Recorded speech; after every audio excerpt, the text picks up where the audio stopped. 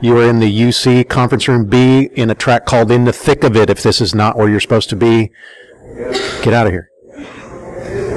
Uh, I'd like to thank our sponsors for this event today. St. Mary's University, USAA, Trend Micro, Digital Defense, SANS, Texas Cyber Summit. And the speaker you're about to hear today, Megan Roddie, she's going to talk to you about how neurodiversity can be leveraged for an excellent ROI. Take it away, Megan. Thank you.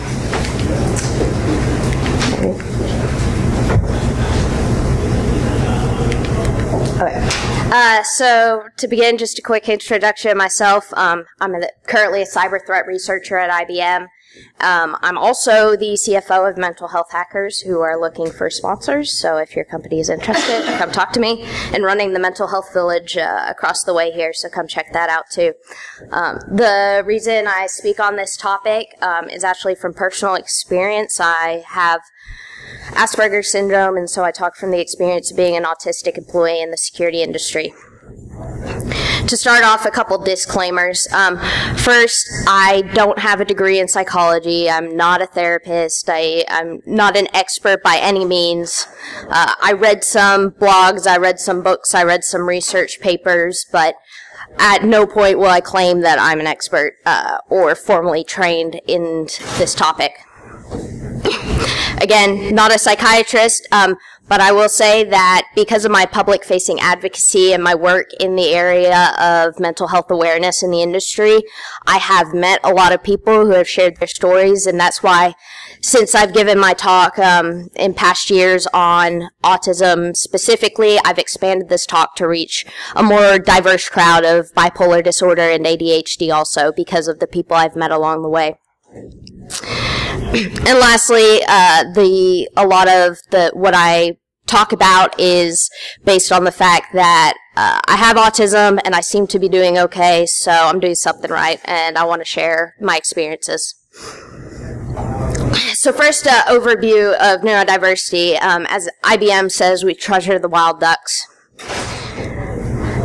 Another disclaimer, neurodiversity, part of the word is diversity, and uh, even within the classification of neurodiverse disorders, there's much diversity. An example of this I found really apt was uh, a famous autism advocate on Twitter asked what uh, stereotypes people feel they defy. Well, one of the stereotypes is autistic people are good at math, and so many people called out that they said, "I'm terrible at math. I hate it."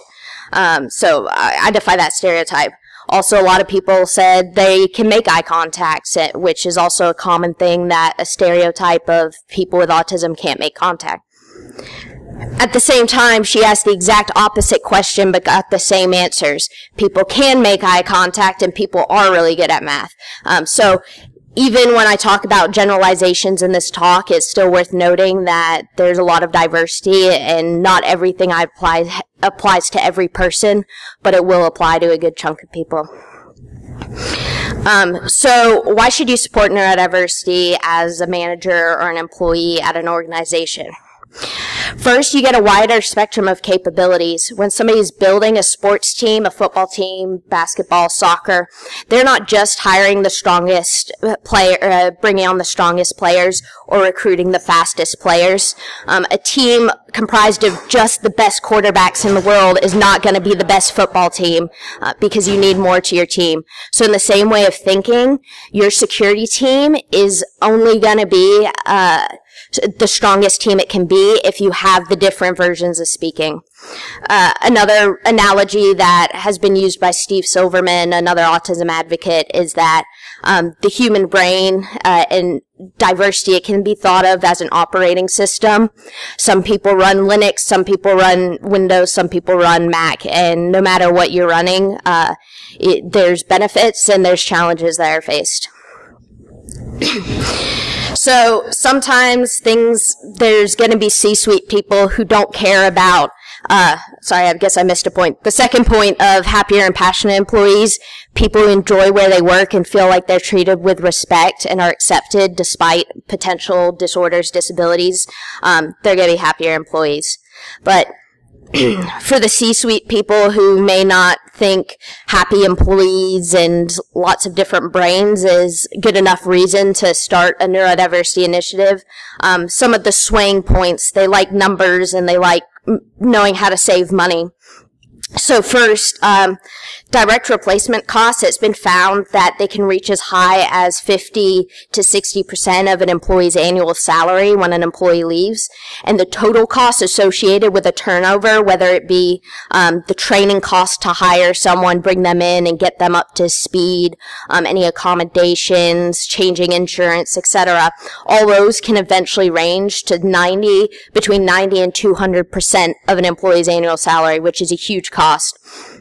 But employers have found that uh, employees with disabilities are less likely to leave a company without dis- um, than employees without disabilities because often if they find an environment that they're comfortable and work well in, uh, they're gonna want to stay with that environment because it's so much harder to find a place where uh, they they get that sort of treatment. So treat them well; they'll stick around. You're gonna save money.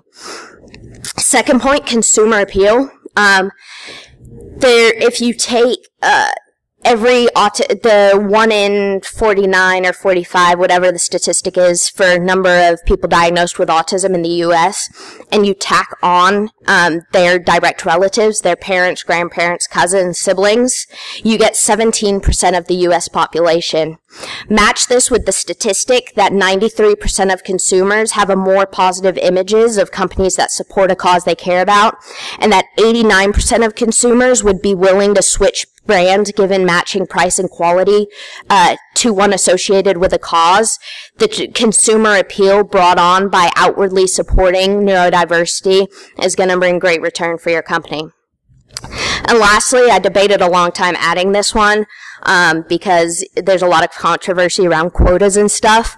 But the truth is, currently, especially in the U.S., where a lot of cybersecurity companies are contracting with the government, um, many companies have requirements about the percentage of employees with disabilities that they have to have as part of their organization. So you are meeting a quota also by hiring these employees. And another reason to um, make employees with invisible disabilities more comfortable is they're more likely to disclose their disability um, when being polled about quotas like that. So. Uh, quota meeting, no matter how controversial, it's, it's a thing. So, so in terms of um, being a successful individual um, in the industry uh, while living with a neurodiverse disorder, um, the Power of Neurodiversity, a book by Thomas Armstrong, it talks about uh, I think seven principles um, associated with how a neurodiverse individual succeeds in life. Uh, number five, principle number five, is that success in life is based on um, adapting one's brain to the needs of the surrounding environment, adjusting to living in a neurotypical world. However, at the same time, principle six, while may, it may sound kind of opposite of this uh, statement, it also depends on modifying your surrounding um, environment to fit the needs of your unique brain. This is called niche construction, and I'll talk about that. Uh, I'll bring up that term multiple times. So basically, it just means um, that along with me having to learn how to live in a neurotypical world, there's some things I have to do that allow me to live um, it with my brain. So um, the first section I focus on, the one that I'm kind of most familiar with, obviously, and most comfortable with, is autism spectrum disorders. So some of the challenges that maybe have faced um, in terms of employment with neurodiverse individuals, autistic individuals specifically, is communication deficits um, how employee, how neurodiverse employees communicate with their coworkers, management, um, clients is going to be different than a neurotypical person. Um, and typically, a lot of those times, they, their communication methods are kind of more negative, uh, a, a, bit weaker. Um, different i'd just say it's different way of communicating but because of how neurotypicals would then interpret that communication it ends up being more more of a, a bad thing The second is being obsessive. Um, I put this as a challenge because it can be distracting for the brain. Um, it can also be in a social manner. Uh, kind of seen as a disability to those around the individual, being obsessed with a topic, um, especially combined with the social skills of not learning, being able to take social cues. A lot of times, an individual you've probably either experienced yourself or seen in TV shows or know about it is uh, you have an autistic person who's obsessed with trains and will stand there and talk to you about trains, and no matter how hard you try to change the topic, it just keeps coming back to that so socially that can be a challenge. Um, I, but I also actually consider it a strength in the sense that um, I can become obsessive about a topic related to my job, and that just pushes me to become an expert in that area, um, and and I can learn really quick. So, it, if if shaped in the right way, it can be a strength. But specific strengths to talk about are attention to detail, being able to see things that may be missed by a, a neurotypical employee. You'll find a lot of autistic employees in quality assurance roles and a lot of hiring programs to get them into quality assurance roles because they can spot little bugs and little things that a neurotypical person may not see uh, Israel, their army actually has a dedicated unit of only autistic individuals who uh, sit in a SOC essentially uh, for 24-7 looking at satellite images and looking for changes that could indicate enemy movement or um, explosive being planted because they are able to focus in on those things and enjoy finding those little changes. Sorry. Uh, and lastly, high productivity. Um, I haven't really been able to explain how it happens, but I myself am, as has been found with many other autistic individuals, I can do two to four times the amount of work a, per, a neurotypical coworker could do on the same task. Um, I don't know what it is that causes that, but it is something I've found, so that definitely works. Yeah. Um, so this is I'm, I'm autistic. Um, Yeah. There's I've, I've also wondered about the high productivity thing. Yeah. There's something about my personal obsession is that there's a. Yeah. And I can build they're kind of like characters, worlds, Yeah. 10, 20 times the speed anybody else I know. Yeah. And I've, when I looked into it, I found that a lot of it has to do with skipping a large portion of the work that's, that a normal person would have to do, or that a neurotypical person Yeah. would have to do, by making mental connections that don't make sense unless you Yeah, for sure. Yeah, and I think I used to be faster at math probably because of the same reason. I could skip steps and do more within one step. Um, and then also, I think it's a lot about, I think we're able to find efficient methods of doing things and kind of streamlining things. So it's probably a combination of those different things. Um, and then going back to the niche construction, creating an environment in which the individual is going to thrive better. Um, so, for example, um, modulation of sensory input. There's a lot of sensory processing issues associated with autism. Um, for me, one of the things when I was looking for jobs, I was specifically like one of my criteria that seems dumb to sway my choice with working with a job was I wanted a job where I could wear whatever I want because I have so much trouble. Um, being comfortable in clothing and when I have to wear clothing that I'm not comfortable in, my productivity level drops. Um, I get distracted by what I'm wearing as opposed to what I'm doing. So it actually became a factor in my job hunting that I wanted a place and I ended up in a remote job. Um, but I was also looking at companies who had a casual dress policy. But this could also mean things such as um, allowing the individual to wear noise canceling headphones in the office, um, ensuring the lights, any flickering lights are fixed that may be bothering them, such as that, things like that. Um, stimming, which you guys probably would recognize as the kind of the stereotypical hand flapping or rocking that an autistic individual can do. A lot of times, um, there's a lot of controversy in the community about uh, therapies trying to stop that behavior. But in the end, the way I see it, it doesn't hurt anyone. If I want to sway side to side while I'm working, it's kind of just let the person do that. As long as it's not hurting you or your business, uh, if they're going to be more productive, if they're allowed to do that things, there's reasons, there's psychological reasons autistic individuals stim. Um, so letting them do that is only going to increase their comfort in your office and their productivity on the work.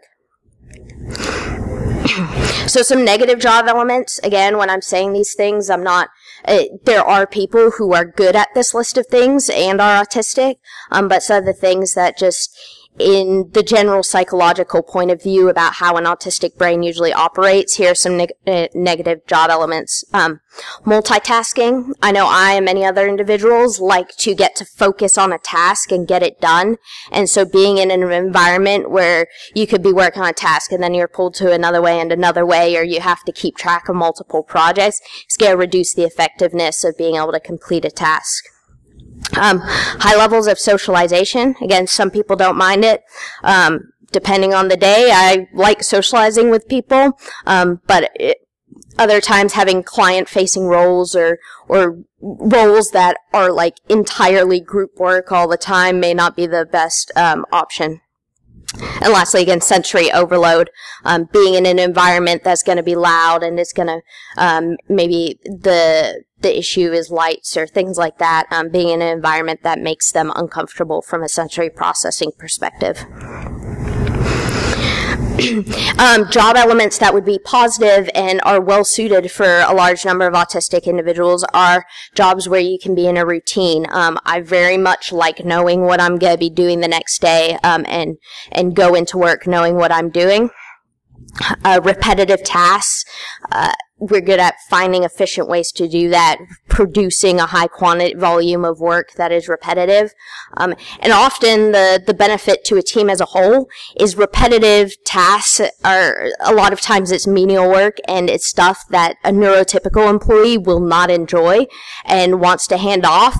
So if there's somebody on that team who is happily and willing to take on that work, that's a benefit to the whole team.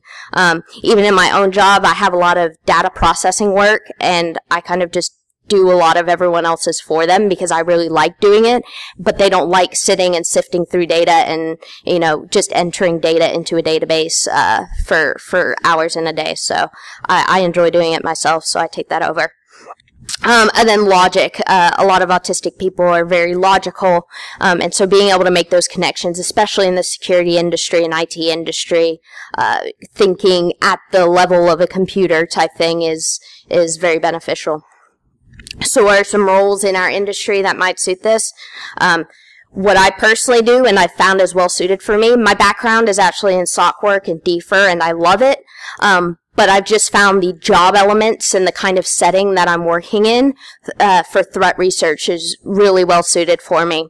Um, it's a lot of data processing. It's a lot of connecting the dots. Like I do a lot of malware research type stuff where I have to connect the dots between um, different operations.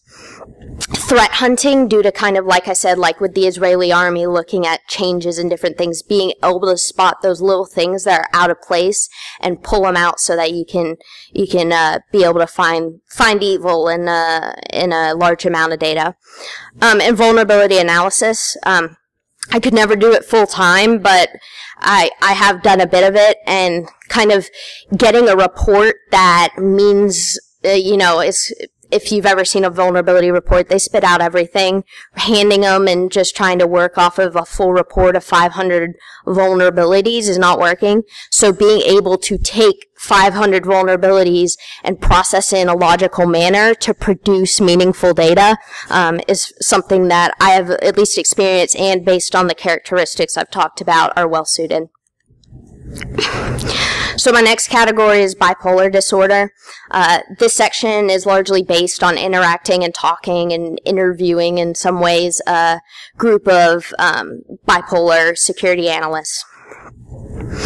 So some of the challenges um, that uh, so the security analysts I talked to face um, mood swings. Obviously, that's like the key uh, characteristic of bipolar individuals. Uh, they can go from being a state of euphoria, you know, that manic personality, to depressive states, um, to rage, and those kinds of things. Um, with schizoaffective uh, types of bipolar disorder, um, there's psychosis that can be involved, which of course, as you can imagine, would be a, a very big barrier um, to being able to operate uh, similar to a neurotypical. And lastly, distracted thoughts. Um, kind of your brain going everywhere and thinking and moods, the distracted thoughts involved with mood swings.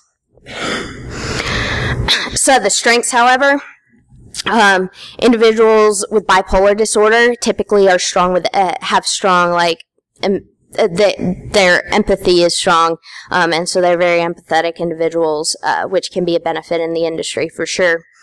Uh, they're also during manic states at least can have a high amount of energy. One of the guys I, I talked to said like yeah, during a depressive state or a rage state, he's like may not be doing his best, but as soon as he kicks into a manic state, he wants to work like 20 hours a day and like will keep going and doesn't even care.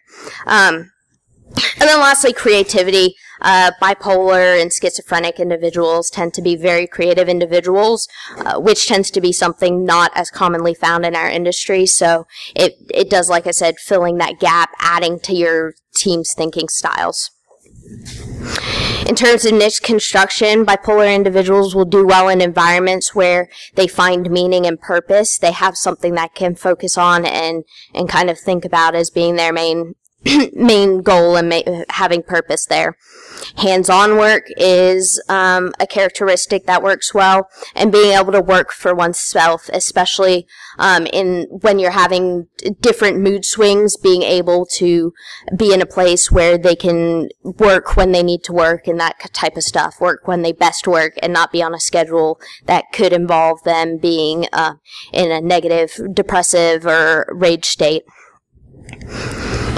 So some job roles that, based on the previous slides, would be well fitting. Um, again, provided to me by some bipolar individuals.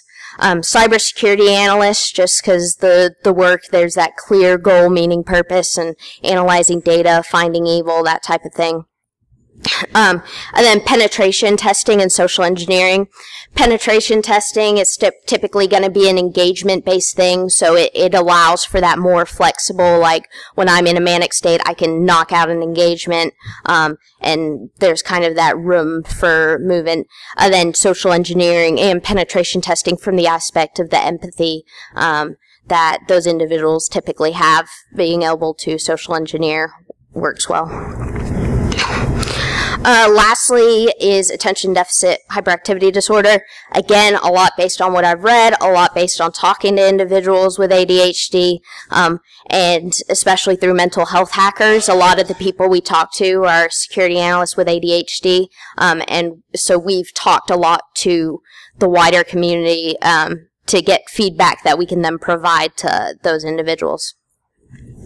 Some challenges are weak executive functioning, um, which executive functioning is kind of like your ability um, to plan and schedule and um, prioritize and those kinds of things, which uh, which are typically needed in a career. Um, they're they're positive skills in a career, but weaker in a lot of individuals with ADHD.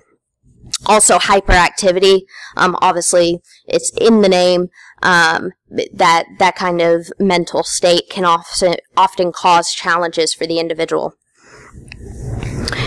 Uh, strengths as hyper focus. Um, they can get really focused on a task that they want. Um, they, it's kind of uh, contrary to what you might think based on stereotypes because the whole distractibility thing and moving place to place.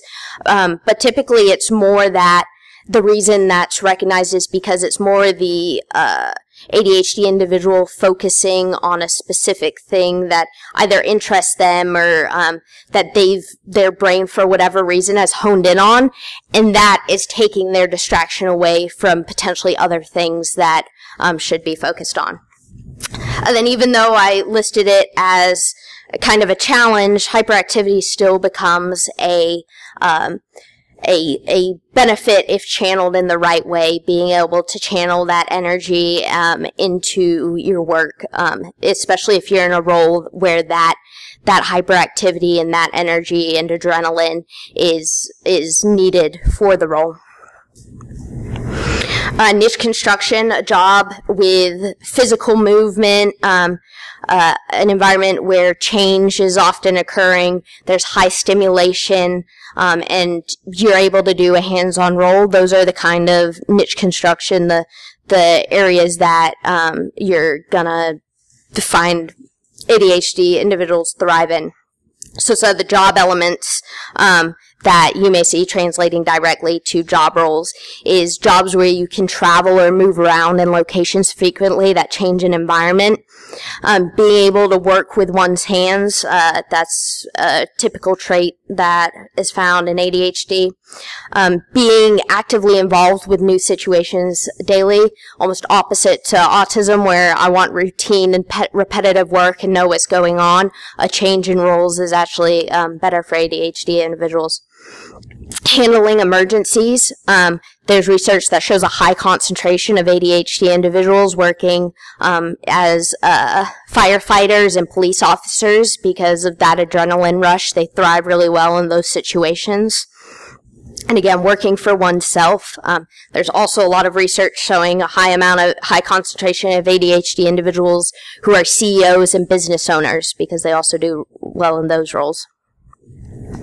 So what are some job roles? Um, incident responder, that's kind of our industry's equivalent of a firefighter or a police officer. Uh, the situation where you get thrown in, time is of the essence, you don't exactly know what's going on and you gotta figure it out, find solutions. Uh, that's probably one of the best roles. Um, threat hunting again the, the being able to to channel that energy and that focus into finding something where you don't know where it is. Um, and then lastly consulting. This isn't really specific job but kind of a consulting element to whatever role you choose. Um, due to that often involves travel. Um, even if it doesn't involve travel, typically con- when you're doing consulting, you're changing environments a lot. You have engagements, so you may be somewhere for a month and then go do something else and keep going back and forth. so to summarize, I kind of, as a whole, look at what each individual can do. For the neurodiverse individual, it's important that the individual recognizes their strengths and weaknesses um, and learns uh, learn what works for them uh, because of that element of adapting to the environment around you.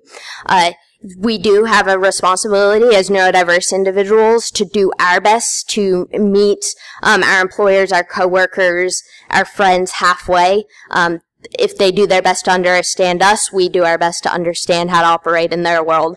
Um, so that's a really important thing. It takes time it's taken me a long time to kind of start recognizing things and I kind of tackle different things at different times, um, one by one to try and adapt as much as I can. and self-improvement and self-care, in the end, these are mental disorders affecting the individual. Um, however you choose to do self-care, whether it's medication, therapy, exercise, whatever works for you, as long as you're focusing on that and recognizing that there there is things that can be done to help you, and you should be focused on helping yourself um, and caring for yourself. what can an organization do?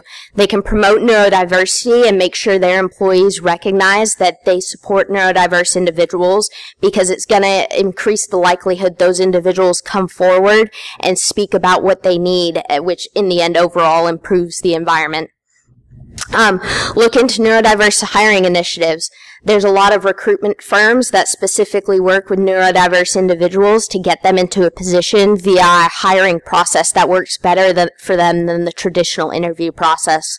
Um, so those kinds of initiatives are something to look into support your managers and employees. When your managers or employees come to you and say accommodations are needed or changes need to be made in how processes work um, listen to them work with them make sure again kind of with that promoting neurodiversity creating an environment where neurodiverse individuals feel comfortable um, and know that they can bring these challenges forward uh, without negative impact And then lastly, something that's very rare in companies, look into how your health insurance plans are, uh, are handling, uh, mental health, uh, situations. Can your employees go to therapy, um, and get the help they need that they may not get through traditional, uh, avenues that you would get with physical health issues? Um, so an employee being able to afford, uh, therapy and stuff based on insurance is an important aspect.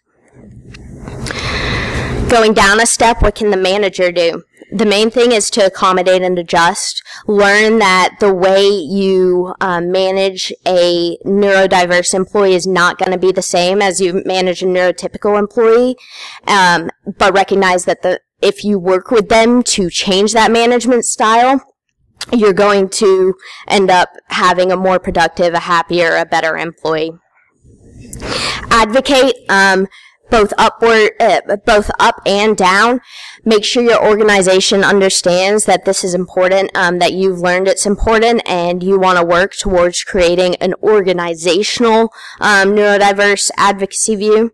Um, and also advocate down. A lot of times there will be conflict between neurotypical and neurodiverse employees due to the different thinking styles, um, and especially with situations like um, autism and bipolar, where the behavior can often come off as rude or um, weird or strange making sure the coworkers understand that the, the individual thinks differently, but they're an equivalent member of the team, and also that they should feel comfortable coming forward and saying, "Hey, we've been having this issue. Can we figure it out?" Because often the uh, neurodiverse individual doesn't know what's happening or hasn't thought about adjusting. So bringing up those topics is important.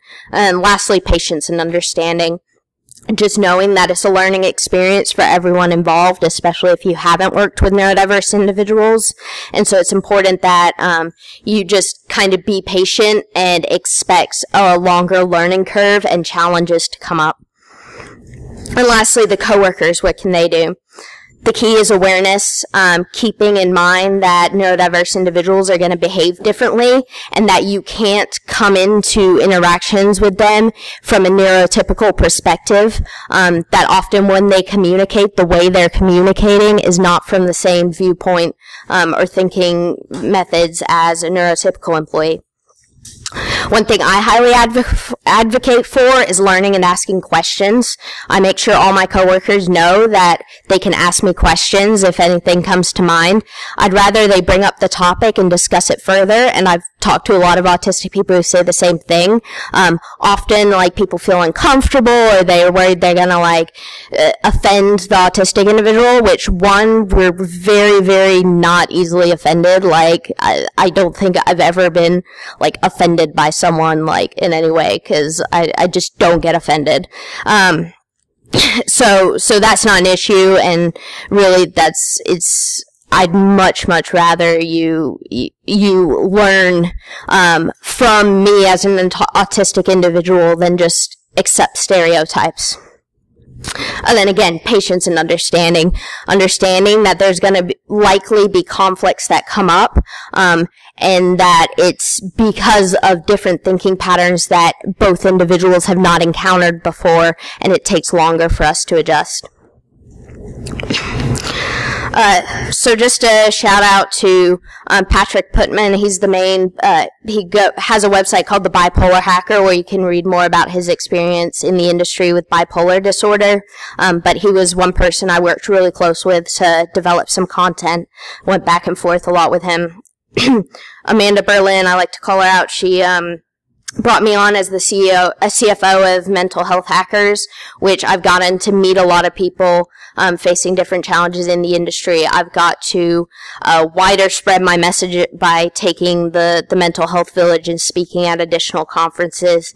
Um, and she work she she accepts some of my quirk like all my quirks and all the weird messages I may send her. So she stuck stuck with me uh, for like almost nine months now. So so far, so good.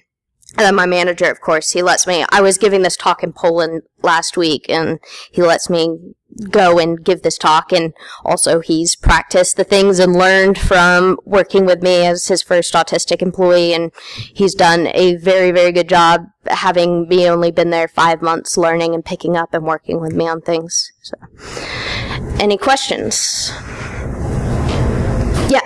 So you were talking about alternative avenues uh, to getting a job with the typical uh, interview process. Can you elaborate a little bit more on what exactly?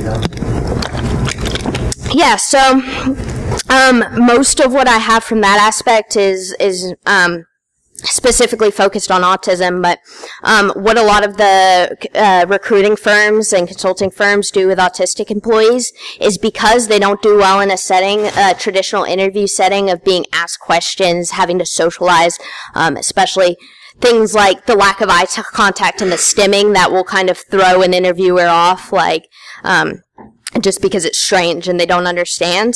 Um, so they kind of mostly avoid the interview process outside originally initially bringing them into the program. And what they do is instead kind of trial run. Um, so IBM, for example, they have a up in Michigan. They have a team that um, is like eight quality assurance personnel uh, who are autistic, and they basically went through a program where there's the initial um, the recruiting firm brought them in.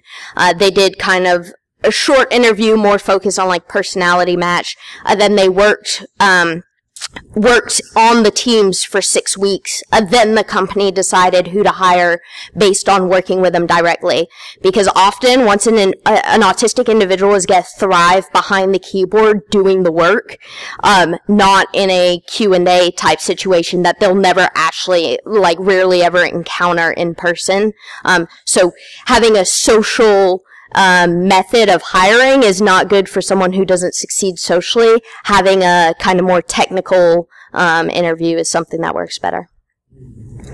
Yeah. And yeah, No more can I ask another one? yeah, yeah. Yeah. Uh, so I wanted to ask about, in particular, the just how wide of a window of tolerance is for individuals with fairly large manic episode. So if I have, say, one or two weeks where I'm very productive, mm-hmm. but then followed by one or two weeks where I can't be productive, Yeah. is that That's honestly going to depend on the organization and the role, and that's kind of like why role fit and niche construction is so important, because there are jobs that you definitely cannot just slack for a couple weeks. But if you end up as position, for example, um, working for oneself, like consider um, a position. Uh, obviously, it's hard to start your own company. Like I'm not gonna limit that, but being in even if it's a startup where they're okay with you going on engagements that are typically that like working on engagements for a period of time and then stepping away. Um, but again, that's going to be the organization, the role, making sure you find a role where they're very flexible with your schedule. Um, but a lot of times, like once you prove yourself, um, uh, if the organization is accepting, they'll work with you. So. Yep. Any other questions? Yep. Um, for individuals who are already in a security role or a uh, technical role, but um, maybe not one that quite fits what works best for them, um, how do you how do you suggest reaching out to or this is a hard question to ask. Um, what would you suggest um, somebody would do like Sam?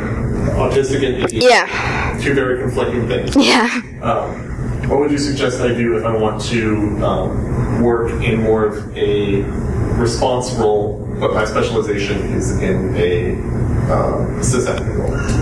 Uh, so it's a combination of a beginning to recognize those strengths and weaknesses, kind of figuring out what kind of role you're going to be best in.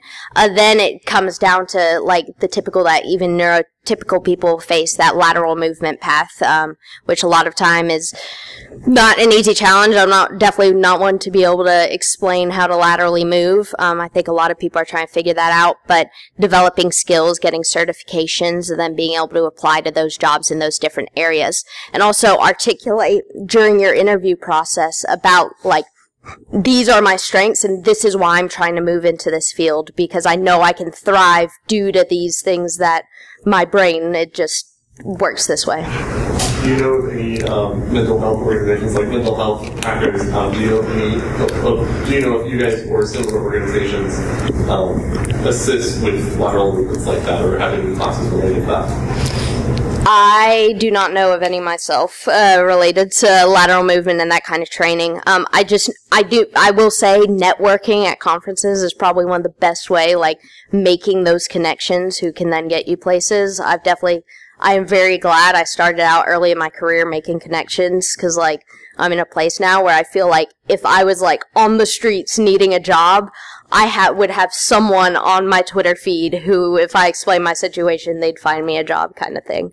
Um, so I think that's one of the big things is building a network and then starting to ask that network, hey, do you have any recommendations on how I get here type thing. Yep. diagnostics. Um, Is there now places to actually go and get some type of evaluation as to what Yeah. Um. So it's, it's actually interesting. Is a lot of 40, 50 year olds are now getting diagnosed with autism. Um, which typically it's you get diagnosed in the three to five year range, but 40, 50 years ago, uh, people weren't diagnosing autism. Um, and, and for a while after that, 20, 30 years ago, it, because it was so focused on kids are autistic, uh, adult diagnoses were so uncommon. It's finally becoming common. Um, typically what I'd recommend is talking to your PCP, and they typically have recommendations um, for who to go to. Um, but you'll want to speak to a psychiatrist specifically. They're the people who will be able to diagnose and make recommendations. secondary to that question. Uh, 20, 30 years ago, a very large stigma with Yeah, not very typical. yeah, Lots of bad things attached to it. yeah, something I thought of from do you make that a little straightforward and clear path that, you've learned how to mask and how to uh, yeah, pretense. yeah. Now you actually come out, the folks you still work with have those negative stigmas. Yeah, and that's very much what this uh, a large focus of this that talk is. Autistic people are not going to thrive until they're in an environment that allows them to thrive, and a huge part of that is acceptance. And honestly, that's kind of just like how do you create acceptance in any other situation? How do you create acceptance for LGBTQ and um, other, you know, racial diversity in organization? It's the same issue. It's awareness and making it. And there's still going to be toxic environments that won't accept neurotypical individuals. And so, at that point, like recognizing that you're in a toxic environment. Like I always say, if, if I'm going to be repercussed for saying I'm autistic, I don't want to be at that company. I know a lot of individuals like have, d- are still kind of, I guess, in, in some way closeted and they don't want to share that information because of fear of repercussion and potentially they're in a career like I'm lucky in cybersecurity. There's a lot of job need and so I feel quite comfortable with like job security. Um, but like at least for me, my path of thinking is if I'm gonna say I'm autistic and then you're gonna treat me horribly because of it, that's not the right job for me. And I need to get out of that toxic environment because it's just gonna make, um, my, like, being in that kind of environment is only going to do damage to my mental health. That, that self-care kind of thing, recognizing when I'm in environments that are negatively impacting me. your organization carry any type of uh, data on site as to what areas of the country or what cities within more aligned or less aligned? Um, so I know that in the U.S., all the only thing that you declare when you're like disabled, like there's no form for me to say I'm autistic. Um, the only thing related to that is um, the the federal form that you've probably seen applying to jobs or whatever that says yes I have a disability, but you don't specify. So I'm guessing there's not much data at any companies on that, um, especially my company. But we do have hiring programs for autism, and those hiring programs um, are slowly building in other countries. So we have statistics about where those hiring programs are taking place, which kind of shows which countries are more ahead in their thinking and their um, forward action on that. Anything else? Uh, well, I have to head back to the mental health village, but if ever, anyone wants to chat, you can follow me there. And